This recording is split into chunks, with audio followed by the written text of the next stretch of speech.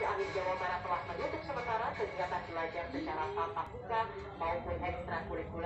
Zakia Arfan kian terlihat menawan saat mengabarkan berita-berita aktual.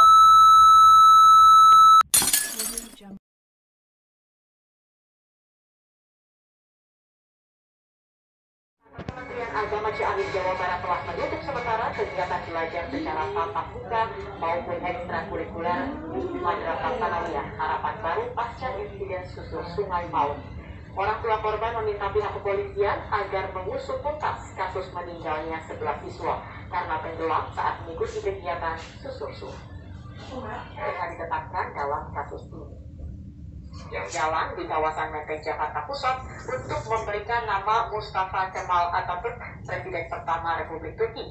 Pemberian nama jalan dengan nama tokoh negara sahabat dilakukan sebagai bentuk kerjasama pemerintah Indonesia dengan pemerintah Turki.